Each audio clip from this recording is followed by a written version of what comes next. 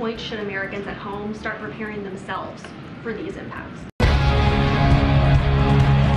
Look, we, we're hoping that it doesn't get to that. We really are. We're, that's why we've been very vocal. The president has been Why the fuck you lying? very clear. That's why he had this meeting on Tuesday to be to be uh, straightforward and frank. You know, this president doesn't Just answer the question. is not afraid uh, to be really honest, and uh, and that's why he went to New York to speak directly to the American people to It's a great question. let them know what's at stake.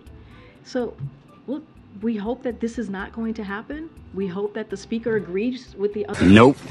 other three uh, leaders uh, in Congress and take default off the table.